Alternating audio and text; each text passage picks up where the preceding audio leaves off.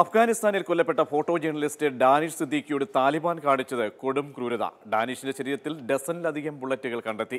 ശരീരത്തിലൂടെ വാഹനം കയറ്റിയിറക്കിയ ശേഷം വെട്ടിയും അടിച്ചും വികൃതമാക്കിയെന്നും ഇന്ത്യൻ എംബസിയിലെയും അഫ്ഗാൻ സർക്കാരിലെയും ഉദ്യോഗസ്ഥർ വെളിപ്പെടുത്തി.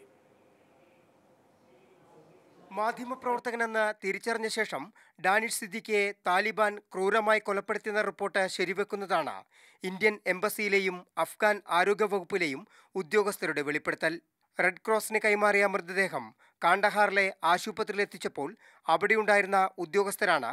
അന്ത്യശ്വാസം വലിക്കും മുമ്പ് ഡാനിഷ് ഏറ്റുവാങ്ങിയ കൊടിയ പീഡനങ്ങളുടെ നടുക്കുന്ന വിവരങ്ങൾ പങ്കുവച്ചത്.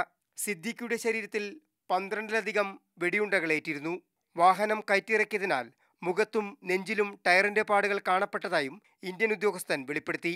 തിരിച്ചറിയാൻ കഴിയാത്ത വിധം മുഖം വികൃതമായിരുന്നുവെന്നാണ് അഫ്ഗാൻ ആരോഗ്യവകുപ്പ് ഉദ്യോഗസ്ഥന്റെ തുറന്നു പറച്ചിൽ മൂർച്ചയേറിയ ആയുധം കൊണ്ട് വെട്ടിയും കുത്തിയുമാകാം ശരീരം വികൃതമാക്കിയതെന്നും സംശയമുണ്ട്. സ്പിൻ ബോൾടാക് മേഖലയിൽ ആഭ്യന്തര കലാപം റിപ്പോർട്ട് ചെയ്യാൻ പോയ ഡാനിഷ് കഴിഞ്ഞ മാസം പതിനാറിനാണ് കൊല്ലപ്പെട്ടത്. ഏറ്റുമുട്ടലിനിടെ ഡാനിഷ് വെടിയേറ്റ് കൊല്ലപ്പെട്ടെന്നായിരുന്നു ആദ്യ റിപ്പോർട്ടുകൾ. എന്നാൽ വെടിയേറ്റ ഡാനിഷ് അടുത്തുള്ള പള്ളിയിൽ അഭയം തേടിയെന്നും ഇവിടെ വെച്ച് താലിബാൻ പിടികൂടിയെന്നും അമേരിക്കൻ മാസികയായ വാഷിംഗ്ടൺ എക്സാമിനർ റിപ്പോർട്ട് ചെയ്തിരുന്നു. മാതൃഭൂമി ന്യൂസ് ഡൽഹി.